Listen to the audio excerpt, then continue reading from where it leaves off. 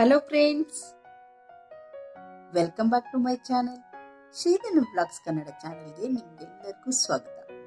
Friends ಇವತ್ತು ನಾನು ತುಂಬ ದಿವಸ ಆದಮೇಲೆ ನಿಮ್ಮ ಹತ್ರ ಕ್ಯಾಮ್ರದ ಮುಂದೆ ಬರ್ತಾ ಇದ್ದೀನಿ. ನನಗೆ ಒಂದು ಎರಡು ವಾರದಿಂದ ಹಲ್ಲು ನೋವು ಇರೋದ್ರಿಂದ ತುಂಬ ನನಗೆ ಪೇನ್ ಇರೋದ್ರಿಂದ ನಾನು ವಿಡಿಯೋ ಯಾವುದು ಮಾಡೋಕ್ಕಾಗಲಿಲ್ಲ.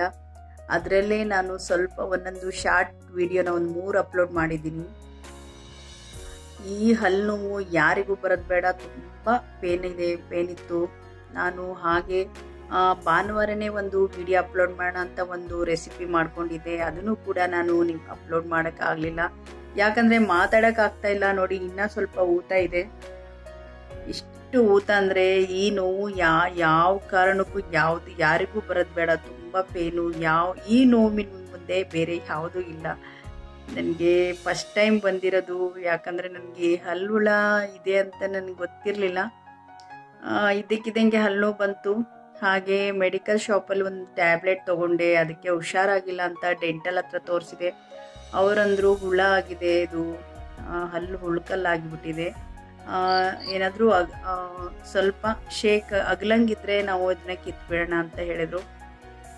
ಅದಕ್ಕೆ ಯಾವುದಕ್ಕೂ ಈ ಊತ ಎಲ್ಲ ಕಡಿಮೆ ಆದರೆ ಬರೋಕ್ಕೆ ಹೇಳಿದ್ದಾರೆ. ಆ, ನೋಡೋಣ ಫ್ರೆಂಡ್ಸ್ ಸ್ವಲ್ಪ ಎಲ್ಲ ಊತ ಎಲ್ಲ ಕಡಿಮೆ ಆಗಿ, ಸ್ವಲ್ಪ ಎಲ್ಲ ಇಲ್ಲೆಲ್ಲ ಪೇನ್ ಎಲ್ಲ ಕಡಿಮೆ ಆದರೆ ನನಗೆ ಆಮೇಲೆ ಕಿತ್ತರೆ ಆರಾಮಾಗುತ್ತೆ ತುಂಬ ಬಾಧೆ ಬಿದ್ದುಬಿಟ್ಟಿದ್ದೀನಿ ಒಂದು ವಾ, ಎರಡು ವಾರ ಆಯಿತು ಫ್ರೆಂಡ್ಸ್ ಸರಿಯಾಗಿ ಅಂಗಡಿಗೂ ಹೋಗಿಲ್ಲ.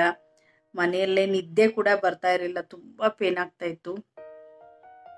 ಹಾಗೆ ಇವಾಗ ನಾನು, ಇನ್ಮೇಲೆ ನಾನು ಕರೆಕ್ಟಾಗಿ ನಾನು ಡೈಲಿ ನನ್ನ ನನ್ನ ಚಾನಲಲ್ಲಿ ಡೈಲಿ ಒಂದೊಂದು ವಿಡಿಯೋ ಬರ್ತಾ ಆ, ಇವಾಗ ಒಂದು ಎರಡು ವಾರದಿಂದ ನನ್ನ ವಿಡಿಯೋ ಸ್ಟಾಪ್ ಆಗಿದೆ.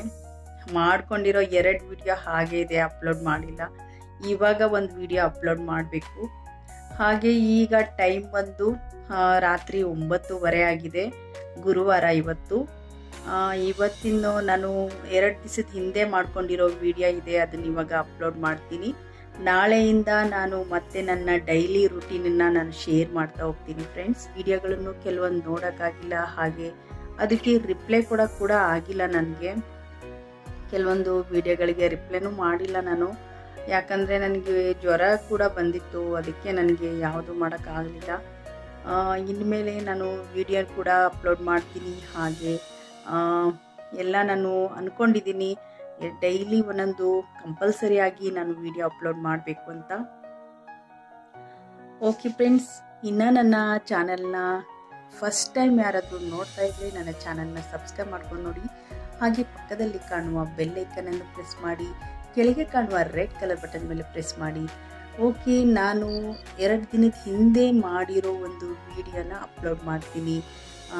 ಮತ್ತೆ ನಿಮಗೆ ನಾಳೆಯಿಂದ ಡೈಲಿ ವ್ಲಾಗು ರುಟೀನಲ್ಲಿ ಮತ್ತೆ ಸಿಗ್ತೀನಿ. ಅಲ್ಲಿವರೆಗೂ? ನೋಡಿ ಫ್ರೆಂಡ್ಸ್, ನನ್ನ, ನಾನು ಹುಷಾರಿಲ್ದಾಗ ನನ್ನ ಮಕ್ಕಳ ಹೆಲ್ಪು ನೋಡಿ ಒಬ್ಬನು ಉಂಡೆ ಮಾಡಿಕೊಡ್ತಾ ಇದ್ದಾನೆ ಒಬ್ಬಳು ಚಪಾತಿ ಮಾಡ್ತಾ ಇದ್ದಾಳೆ. ನನಗೆ ಒಂದು, ಎದ್ದೇಳೋಕ್ಕೆ ಆಗಲಿಲ್ಲ. ಅವತ್ತು ಏನು, ಒಂದು ದಿವಸ ನಾವು ಹೋಟ್ಲಲ್ಲಿ ತೆರೆಸ್ಕೊಂಡು ತಿಂಡಿ ತಿಂದಿದ್ದು. ಇನ್ನು ಮಿಕ್ಕಿರೋ ಟೈಮಲ್ಲಿ ಡೈಲಿ ಹೋಟ್ಲ ತಿಂಡಿ ಅಂದರೆ ಆರೋಗ್ಯಕ್ಕೆ ಸರಿ ಇರಲ್ಲ. ಅದಕ್ಕೆ ನಾನು ಚಪಾತಿ ಇಟ್ಟು ಕಲಿಸ್ಕೊಟ್ಟಿದ್ದೆ. ಅವಳು ಚಪಾತಿ ಮಾಡ್ತಾ ಇದ್ದಾಳೆ. ಮಕ್ಕಳು ತುಂಬ ಹೆಲ್ಪ್ ಮಾಡಿದ್ದು. ಈ ಥರ ನೋವು ಅಂತ ನಾನು ಮಲಗಿದ್ದೆ ಫಸ್ಟ್ ಟೈಮು ಆವಾಗ ಗೊತ್ತಾಯಿತು ನನಗೆ ಎಷ್ಟು ಕಷ್ಟ ಆಗುತ್ತೆ ಅಂತ ಗೊತ್ತಾಯಿತು ಎಲ್ಲರಿಗೂ ಮಕ್ಕಳ ಈ ಹೆಲ್ಪನ್ನು ನೋಡಿದರೆ ತುಂಬ ಕಷ್ಟ ಆಗುತ್ತೆ. ಯಾಕಂದರೆ ಡೈಲಿ ನಾವು ಮಾಡಿಕೊಡೋದು ಮಕ್ಕಳಿಗೆ ಇವತ್ತು ಮಕ್ಕಳ ಕೈಯಲ್ಲೇ ಮಾಡಿಸ್ಕೋಬೇಕಾಗ್ತಲ್ಲ ಅಂತ ತುಂಬ ಬೇಜಾರಾಯಿತು. ಹಾಗೆ ನೋಡಿ ನನಗೆ ಮಾತಾಡೋಕ್ಕೆ ಬರ್ತಾ ಇರಲಿಲ್ಲ. ಅವತ್ತು ಮಾಡಿರೋ ವಿಡಿಯೋ ಇದು ತುಂಬ ಪೇನು. ನೋಡಿ, ಆ ಪಟ್ಟು ಹಾಕಿರೋದ್ರಿಂದ ಸ್ವಲ್ಪ ಪೇನ್ ಕಡಿಮೆ ಆಗಿದೆ. ಮಲ್ಕೊಂಡ್ರು ನಿದ್ದೆ ಬರಲ್ಲ. ತುಂಬ ಬಾಧೆ ಬಿಟ್ಬಿಟ್ಟಿದ್ದೀನಿ ಎರಡು ವಾರದಿಂದ. ಈ ಥರ ನನಗೆ ನೋವು, ಈ ಹಲ್ಲು ಹೀಗಿರುತ್ತೆ ಅಂತ ನನಗೆ ಗೊತ್ತಾಗಿರಲಿಲ್ಲ.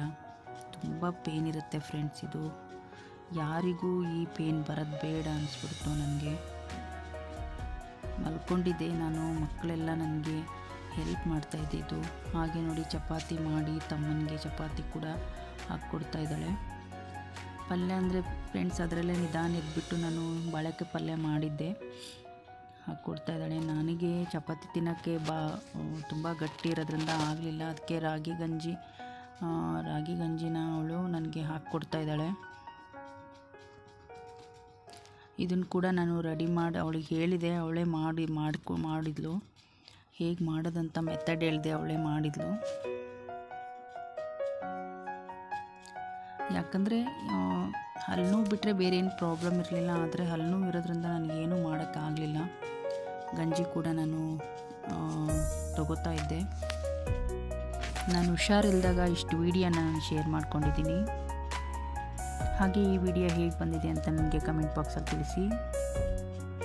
ಇನ್ನೂ ನನ್ನ ಚಾನಲ್ನ ಯಾರು ಸಬ್ಸ್ಕ್ರೈಬ್ ಮಾಡ್ಕೊಂಡಿಲ್ವೋ ನನ್ನ ಚಾನಲ್ನ ಸಬ್ಸ್ಕ್ರೈಬ್ ಮಾಡ್ಕೊಂಡು ನೋಡಿ. ಹಾಗೆ ಪಕ್ಕದಲ್ಲಿ ಕಾಣುವ ಬೆಲ್ ಐಕನನ್ನು ಪ್ರೆಸ್ ಮಾಡಿ.